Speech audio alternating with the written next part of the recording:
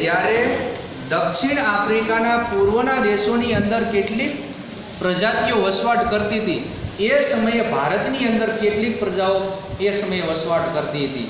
એટલે આર્યો છે એ અહીંયા વસવાટ કરતા હતા, દ્રવિડો છે એ વસવાટ કરતા હતા અને આ વિદેશી પ્રજાઓ ભારતની સમૃદ્ધિ અને ભારતની વૈવિધ્યના વારસાથી આકર્ષાય અને એક પછી એક ધાડે ધાડાઓ ભારતની અંદર ઉતરી આવ્યા.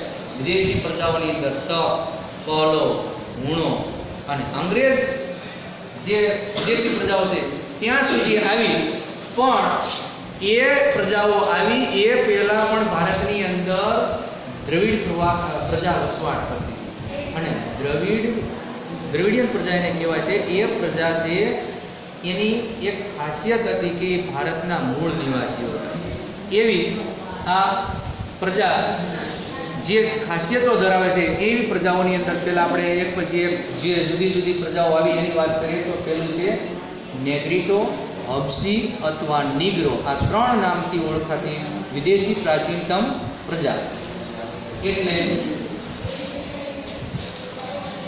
ભારતના સૌથી પ્રાચીન નિવાસીઓ એ જે કોઈ હતા એને કહેવામાં આવે છે હબસી પ્રજા. તેની શારીરિક લાક્ષણિકતા બરાબર ધ્યાનથી સાંભળજો. ચારથી પાંચ ફૂટની ઊંચાઈ, વર્ણે શ્યામ વર્ણે શ્યામ એટલે રંગ એનો કાળો, અને એને ઓળખવા માટેની એક નિશાની આપણે કાપી છે, અને એ છે વાંકડિયા વાળ એવી ખાસિયત ધરાવતી વિદેશી પ્રાચીનતમ પ્રજા એટલે આ હપસી પ્રજા. ત્યાર પછી ઓસ્ટ્રેલોઇડ પ્રજા. પ્રાચીનતમ બીજી મહત્વની પ્રજા એટલે હોટેલ જેને નિષાદ પ્રજા તરીકે ઓળખવામાં આવે છે. એ મોટાભાગે અગ્નિ એશિયામાં થઈ અને ત્યારથી ભારતની અંદર આવ્યા અને તેની શારીરિક લાક્ષણિકતા લઈએ તો તેની અંદર વર્ણ શ્યામ, લાંબુ અને પહોળું માથું, ટૂંકા કદ અને ચપટું નાક, આ એની શારીરિક લાક્ષણિકતા હતી. આર્યો તેને નિષાદના નામથી ઓળખતા હતા. મોટાભાગે ભારતની અંદર ભીલી જાતિના લોકો છે, એ એને નિષાદના નામથી ઓળખતા એટલે નિષાદ આ શબ્દ પ્રયોગ એના માટે થાય છે. ભારતની અંદર કોર, મુંડા, ખાસી, નિકોબાર, મ્યાનમાર આ જે લોકો છે, એની અંદર આ પ્રકારના વિદેશી પ્રજાઓના શારીરિક લક્ષણો આજે જોવા મળે છે. સંસ્કૃતિ અને સભ્યતાના વિકાસની અંદર આ પ્રજાએ મોટામાં મોટો ફાળો આપેલો બીજું આપણે વાત કરીએ, તો આ પ્રજા છે વાસણો બનાવવા વણાટ કામ કરવું અને એમાંથી વેપારી છે એ વેપારી લાઈન છે પસંદ કરેલી અને એમાંથી એને આપણા ભારતને સમૃદ્ધ બનાવવામાં મોટામાં મોટું યોગદાન આપેલું છે. ત્યાર પછી દ્રવિડ લોકો. જેને ભારતના મૂળ નિવાસીઓ કહેવામાં આવે છે. આપણે દ્રવિડ કુળની ચાર ભાષાઓ. તમિલ, તેલુગુ, કન્નડ અને મલયાલમ. એમાં દ્રવિડ એ સૌથી પ્રાચીનતમ ભાષા કહેવાય છે. જેમાં ભાવો અને ઉર્મિઓ વ્યક્ત કરવામાં આવી છે. એ મૂળ ભારતના હતા. મોહેજો દડો અને પાષાણ યુગની પાષાણ એટલે શું ખબર? પથ્થર. પાષાણ યુગની સંસ્કૃતિના સીધા વારસદારો છે. અને તેઓ માતૃરૂપે દેવી, પાર્વતી અને પિતૃરૂપે પરમાત્મા એટલે કે શિવ. એનો ખ્યાલ સૌ પ્રથમ આ દ્રવિડોએ આપને આપેલો છે. ત્યાર પછી ધૂપ દીવા, અગરબત્તી, પૂજા આવી જે આપણે અત્યારે કરીએ છીએ ને, એ જેમ દ્રવિડ પ્રજાની છે. પ્રકૃતિ પૂજા હોય, પશુ પૂજા હોય, એ સૌ પ્રથમ ખ્યાલ આપનાર એ દ્રવિડિયન પ્રજા હતી. તેઓની અંદર માતૃ મૂલક કુટુંબ પ્રથા પ્રચલિત હતી. એટલે કે બાળકની પાછળ માતાનું નામ લાગે.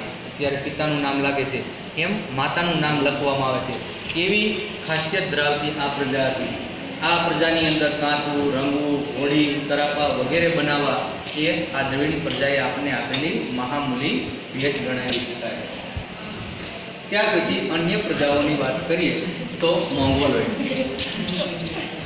તેઓ ઉત્તર પશ્ચિમમાંથી તિબેટ અને ભારતની અંદર આવ્યા હતા. ભારતમાં ઉત્તર આસામ, સિક્કિમ ભૂટાન ત્યાર પછી પૂર્વ બંગાળ, આજે ત્યાં આ પ્રજા છે એ વસવાટ કરે છે. આ પ્રજાનો શારીરિક લાક્ષણિકતાની દ્રષ્ટિએ બરાબર યાદ રાખજો, વર્ણ પીળો હોય છે.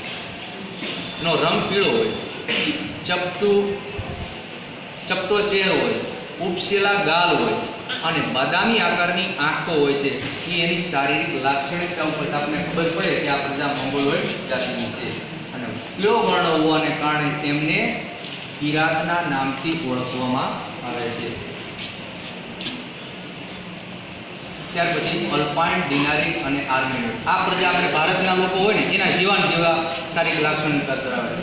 મધ્ય એશિયામાંથી આવ્યા ત્રણે અને ત્રણેયની અંદર એક સરખી શારીરિક લાક્ષણિકતા જોવા મળે છે. આપણા ભારતમાં મહારાષ્ટ્ર બંગાળ, ઓડિશા, ગુજરાત, સૌરાષ્ટ્ર, આ બધા જ લક્ષણો ધરાવતા પ્રજાઓ છે એ અહીં જોવા મળે છે.